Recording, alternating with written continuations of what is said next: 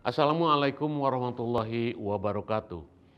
Gotong royong adalah karakter bangsa Indonesia. Bahu-membahu dan tolong-menolong jadi penyangga asa yang terwariskan dari para pendahulu bangsa.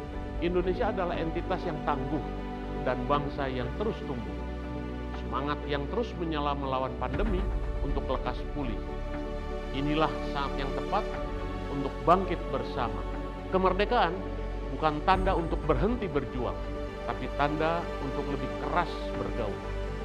Dari generasi ke generasi, kobar kemerdekaan jadi mantra untuk pulih lebih cepat dan bangkit lebih kuat. Selalu jaya bangsaku, selalu hebat negaraku. Dirgahayu Republik Indonesia ke-77 tahun. Wassalamualaikum warahmatullahi wabarakatuh.